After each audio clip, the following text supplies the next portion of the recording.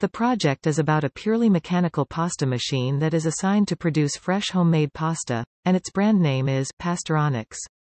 The machine consists of 42 different components. These parts vary mainly between cutters, combs, rollers, gears, fasteners, and outer covers. Moreover, the machine is mainly made of chrome steel, but the parts which are in direct touch with the pasta sheets were chosen carefully. For instance, rollers are made of anodized aluminum alloy.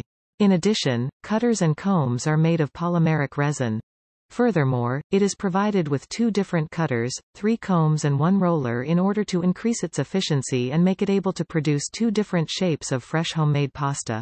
The main function of the machine is to produce two different types of pasta, which are spaghetti and fettuccine.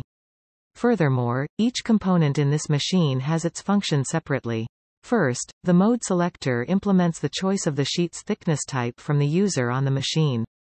Second, the two cutters consist of four parts, and they are responsible for the cutting process. Third, the rollers have nine levels to do their main function which is controlling the thickness of the pasta sheet. Fourth, fasteners keep the machine as one interconnected solid part. Fifth, combs are the main factor in the shaping process. Sixth, gears are the main factor of any motion that happens in the machine. Seventh, the operating handle is responsible for the main motion in the machine where it drags the pasta sheet into the cutters depending on the gears and combs. Moreover, the first study verifies that the von Mises stress in the rollers of the pasta machine was found to be zero.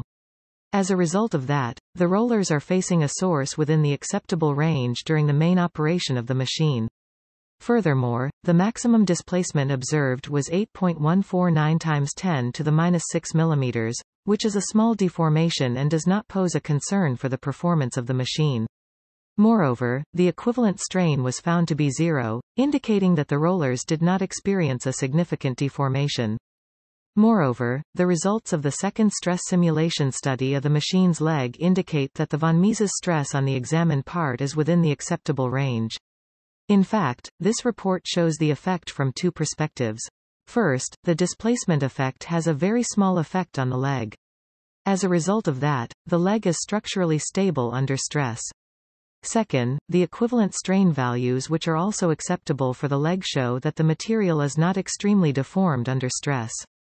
Furthermore, the results of the stress simulation study of the machine's fixture indicate that the maximum von Mises stress is 6.694 E01 N per square meter, which occurs at node 25602 with a value of 8.540 E plus 08 N per square meter.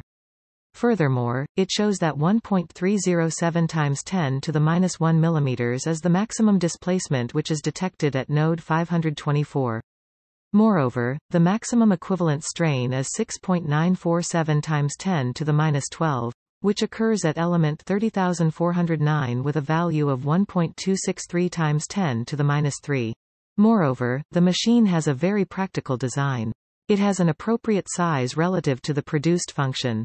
In addition, its overall design is very modern and provides a good appearance. However, it has a problem which affects its efficiency. It is designed with only one operating handle which requires many unpacking and assembling steps in order to use all the machine's functions.